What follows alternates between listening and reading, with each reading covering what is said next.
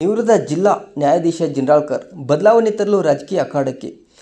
ರಾಜಕೀಯ ಶುದ್ಧೀಕರಣ ಮೂಲ ಸಾಮಾಜಿಕ ಬದಲಾವಣೆ ಬಯಸಿ ನ್ಯಾಯಾಧೀಶ ಸ್ಥಾನಕ್ಕೆ ಸ್ವ ಇಚ್ಛೆಯಿಂದ ರಾಜೀನಾಮೆ ನೀಡಿ ರಾಜಕೀಯ ರಂಗ ಪ್ರವೇಶಿಸಿದ್ದು ಕುರ್ಚಿ ಮೀಸಲು ಕ್ಷೇತ್ರದಿಂದ ಕಾಂಗ್ರೆಸ್ ಟಿಕೆಟ್ ಆಕಾಂಕ್ಷಿಯಾಗಿದ್ದೇನೆ ಎಂದು ತಿಳಿಸಿದರು.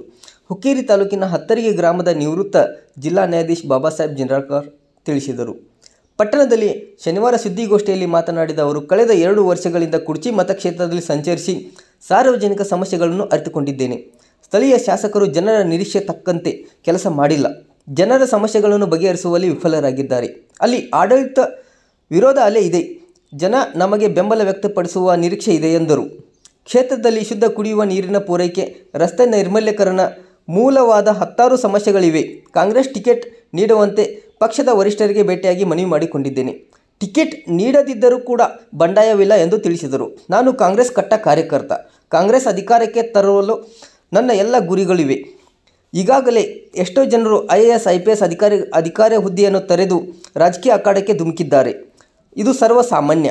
ಇಂತಹ ಬದಲಾವಣೆ ಬೇಕೆಂದು ಅಧಿಕಾರಿಗಳು ಇಂತಹ ರಾಜಕೀಯಕ್ಕೆ ಧುಮುಕುವುದು ಸಾಮಾನ್ಯವಾಗಿದೆ ಎಂದು ತಿಳಿಸಿದರು. ಅದೇ ರೀತಿ ಹನ್ನೊಂದು ಜನ ಕುರ್ಚಿ ಮತಕ್ಷೇತ್ರದಲ್ಲಿ ಕಾಂಗ್ರೆಸ್ ಟಿಕೆಟ್ ಆಕಾಂಕ್ಷಿಗಳಾಗಿದ್ದು ಇದರಲ್ಲಿಯೂ ಸಹ ನನ್ನ ಸ್ವ ಇಚ್ಛೆಯಿಂದ ನಾನು ನನ್ನ ಸ್ವಯಂ ವೃತ್ತಿಗೆ ನಿವೃತ್ತಿಕೊಂಡು ಈಗ ರಾಜಕೀಯ ಅಖಾಡಕ್ಕೆ ಬಂದಿದ್ದೇನೆ. ಇದರಲ್ಲಿ ನನಗೆ ಟಿಕೆಟ್ ನೀಡಿದ್ದೇ ಆದಲ್ಲಿ ಪಕ್ಷವನ್ನು ಬಲಿಷ್ಠಗೊಳಿಸಿ ಕಾಂಗ್ರೆಸ್ ಪಕ್ಷವನ್ನು ಬಹುಮತಗಳಿಂದ ಆರಿಸಿ ತರುವ ನಿರೀಕ್ಷೆಯಲ್ಲಿ ಇದೆ ಎಂದು ತಿಳಿಸಿದರು. ಎಲ್. ಜಿನರಾಳ್ಕರ್ ಹುಕ್ಕೇರಿ ತಾಲೂಕಿನ ಹತ್ತರಿ ಗ್ರಾಮದವನು. ನಾನು ಬೆಳಗಾವಿಯಲ್ಲಿ ಆರು ವರ್ಷ ವಕೀಲಿ ವೃತ್ತಿ ಮಾಡಿ, ಬೈಲೊಂಗಲ ಮತ್ತು ಬೀದಣ್ಣ ಕಾನೂನು ಮಹಾವಿದ್ಯಾಲಯಗಳಲ್ಲಿ ಎರಡು ವರ್ಷ ಕಾನೂನು ಉಪನ್ಯಾಸಕ ವೃತ್ತಿ ಮಾಡಿ ಕುರ್ಚಿ ಕ್ಷೇತ್ರದಲ್ಲಿ ಪ್ರತಿ ಹಳ್ಳಿ ಗ್ರಾಮ ಪಂಚಾಯತಿಗಳಿಗೆ ಭೇಟಿ ನೀಡಿ ಅಲ್ಲಿನ ಜನರ ಒಡನಾಟವನ್ನು ಹೊಂದಿದ್ದೇನೆ. ಈಗ ನಾನು ಕುರ್ಚಿ ಕ್ಷೇತ್ರದ ಕಾಂಗ್ರೆಸ್ ಟಿಕೆಟ್ಗಾಗಿ ಡಿಫಾರ್ಮ್ಗಾಗಿ ಅರ್ಜಿ ಸಲ್ಲಿಸಿದ್ದೇನೆ. ರಾಷ್ಟ್ರಮಟ್ಟ ರಾಜ್ಯ ಮಟ್ಟ, ಜಿಲ್ಲಾ ಮತ್ತು ಜಿಲ್ಲಾ ಮತ್ತು ಬ್ಲಾಕ್ ಮಟ್ಟದ ಕಾಂಗ್ರೆಸ್ ಪದಾಧಿಕಾರಿಗಳೊಂದಿಗೆ ನಾನು ನಿಕಟವಾದ ಆತ್ಮೀಯ ಸಂಬಂಧವನ್ನು ಹೊಂದಿದ್ದೇನೆ.